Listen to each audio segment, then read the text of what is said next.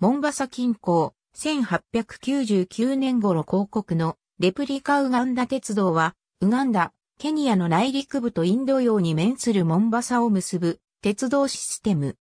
アフリカ分割時代に植民地政策の一環としてイギリスによって作られた植民地鉄道。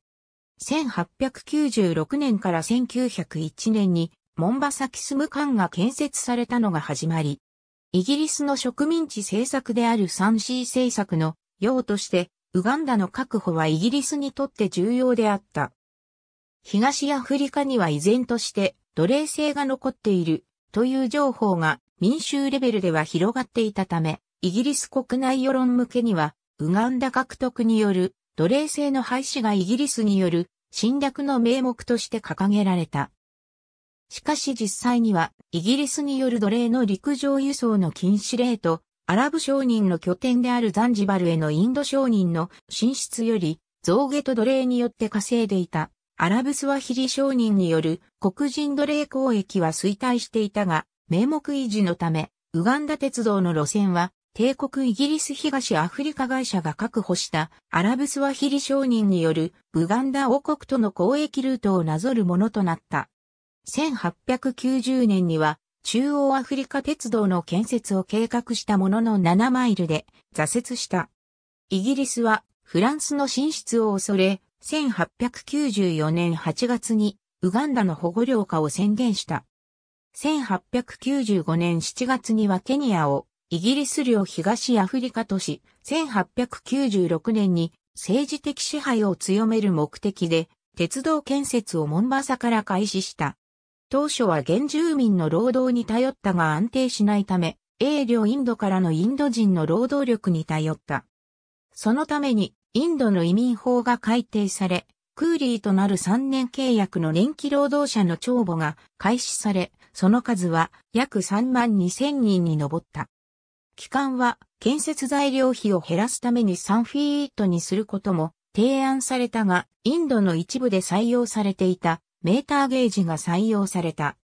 1500人のインド人クーリーらが鉄道建設に伴い東アフリカに進出する様をハリー・ジョンストーンは2マイル幅のインドの草人と表現した。イギリスによる支配が確立するまでの間にルピー経済がウガンダ・ケニアの鉄道沿線に普及した。1898年、サボ川に架かる橋を建設中の夜、2頭のライオンが28名以上のインド人などの労働者、アフリカ人を殺害。現場監督ジョン・ヘンリー・パターソンはライオンを銃殺、後にシカゴのフィールド自然史博物館へ寄贈する事件もあった。1901年に当初目的地のビクトリア湖畔キスムまで連絡し、1903年に運行を開始した。